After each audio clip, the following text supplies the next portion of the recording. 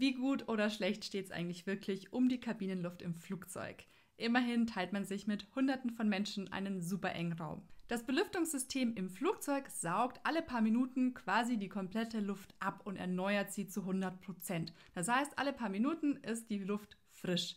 Und wie das Ganze überhaupt funktioniert, ist sehr technisch. Ich versuche das jetzt so kurz und knapp zu erklären, damit es auch meine neunjährige Tochter verstehen würde. Bei diesem ganzen Mechanismus wird sie gefiltert. Das heißt, Viren, Bakterien, Keime, nenn es wie du willst, das bleibt alles in den Filteranlagen hängen und wird dann nur ganz, ganz sauber wieder zurück in die Kabine geleitet. Die WHO hat auch Untersuchungen angestellt und kam zu dem Fazit, dass man sich natürlich im Flieger anstecken kann, wenn man neben einer kranken Person sitzt, es aber grundsätzlich kein erhöhtes Risiko für Ansteckungen gibt. Morgen verrate ich dir die am meist belastetsten Orte im Flieger, also die Orte, die am allermeisten angefasst werden und ich garantiere dir, es sind auch ein paar Überraschungen mit dabei.